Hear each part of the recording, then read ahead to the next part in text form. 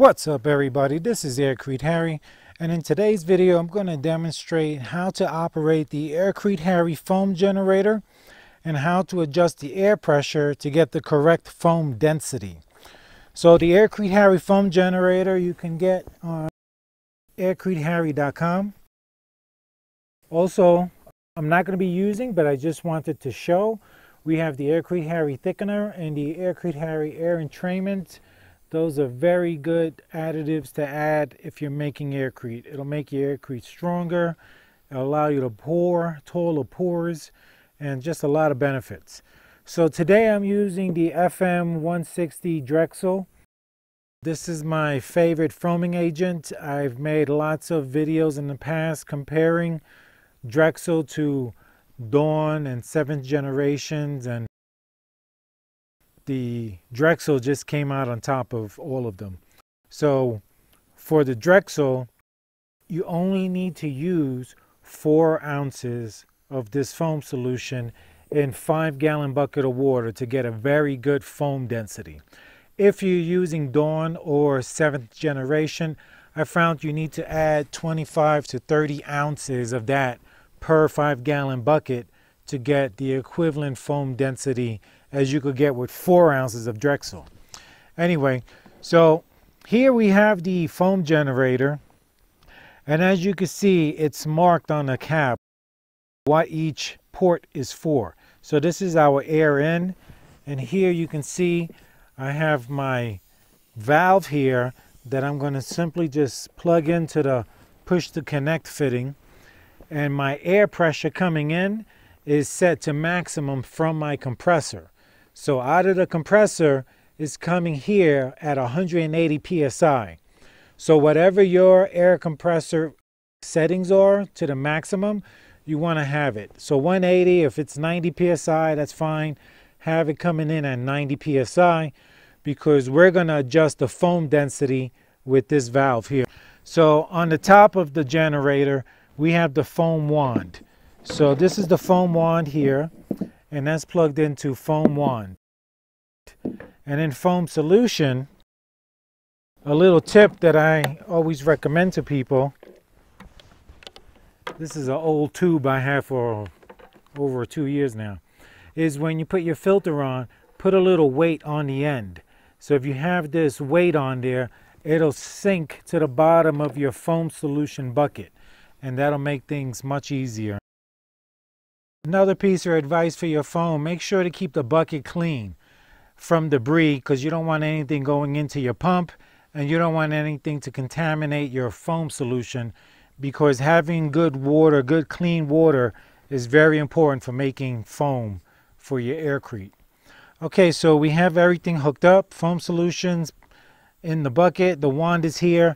So the very first step you have to take when operating the foam generator is you have to prime your line. So the first step you want to take is to turn your pump on. I'm using the foot pedal. So I'll turn the pump on until I have liquid coming out consistently. So as soon as we have that, now we know we're good for making foam and we just have to turn the air on.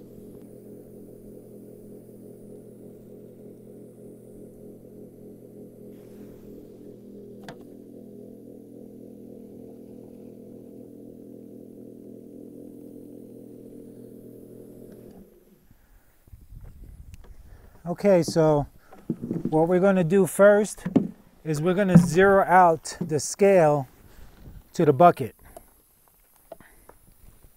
Thank you. So you can see we're at zero zero for the bucket. And we're going to fill this with foam to see if we get the correct density. Now this scale only does pounds. So I'm going for a three pound bucket. So I usually shoot for 2.8 to 3.2 pounds. So you see we got good flow. Now I'm going to turn the air on.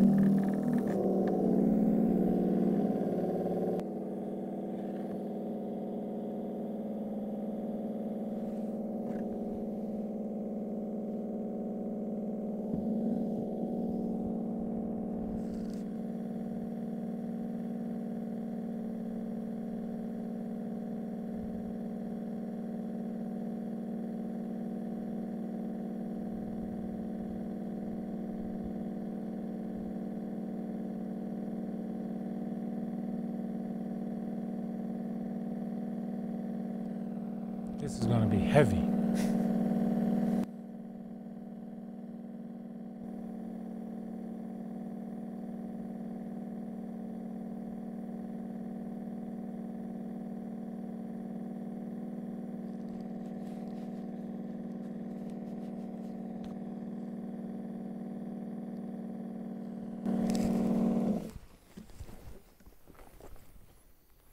And after you're done using the foam generator, you want to turn your air off.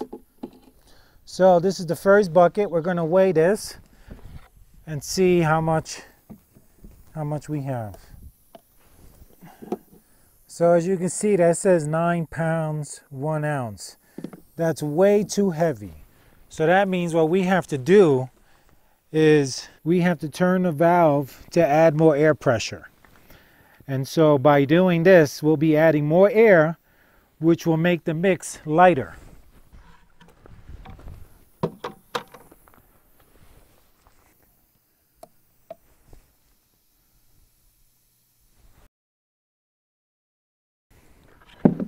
Okay, so we're gonna turn the valve.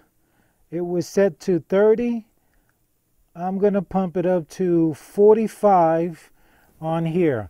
Now another important technique is once I step on the pedal and turn the air on to begin making foam, this valve will drop down a little. And the best way to test is to adjust this valve while you're making foam because that's more accurate of the pressure coming into the into the system and into your wand opposed to when it's off. When it's on, the air will be flowing through and that will be a more accurate. So as I'm making foam, we'll check to see what the pressure is reading. Okay, the liquid's coming out. Now we're making foam. You can see it looks a lot creamier. So it's definitely lighter.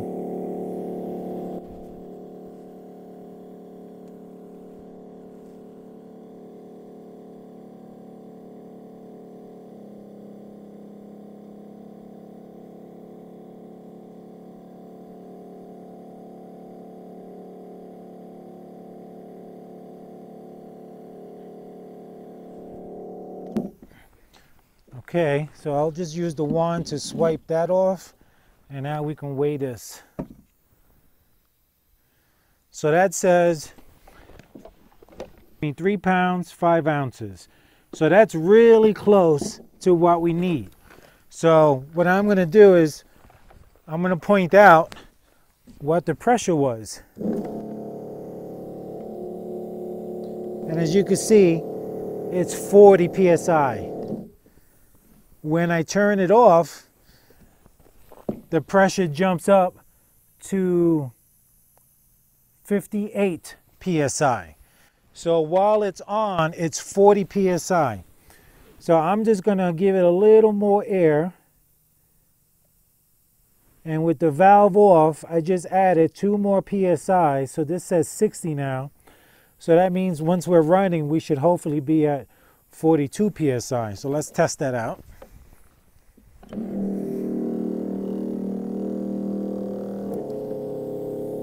Yeah, so it's 42 psi there. So we're going to do one more measurement. We're at 42 psi and check the weight.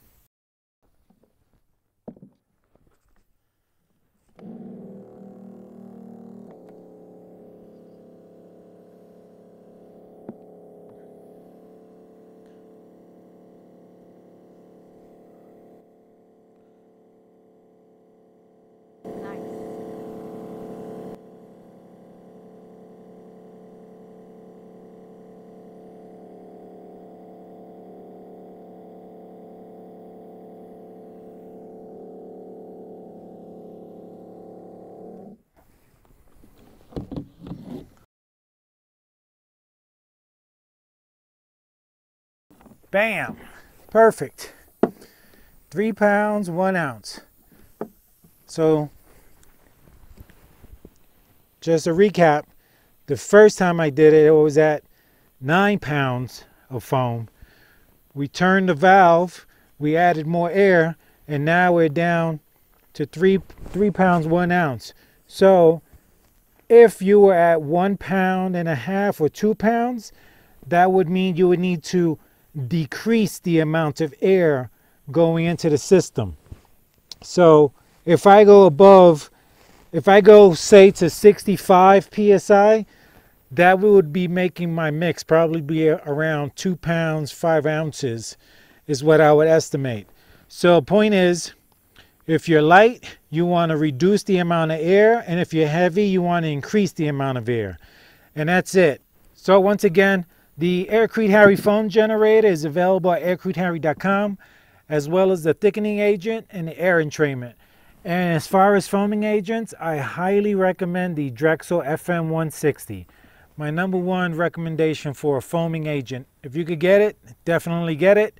It might be more money up front, but in the end, because you're only using four ounces per five gallons a bucket, you end up saving a lot more money using Drexel FM 160.